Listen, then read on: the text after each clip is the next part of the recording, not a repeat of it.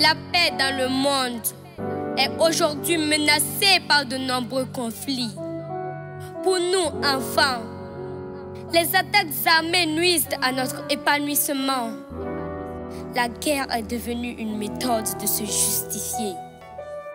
À quel développement pourrons-nous aspirer sans la paix?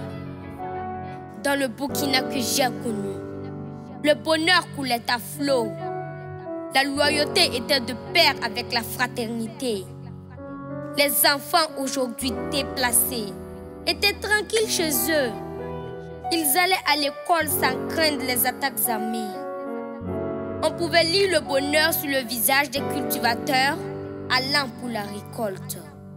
Chers parents, chers camarades, il est encore possible d'éliminer la douleur dans nos rues. Tous ensemble, donnons-nous la main pour un Burkina meilleur. Chères autorités, pour que nous, enfants, nous puissions participer à la recherche de la paix, nous vous demandons la création d'un cadre d'expression libre et surtout donner la parole aux enfants.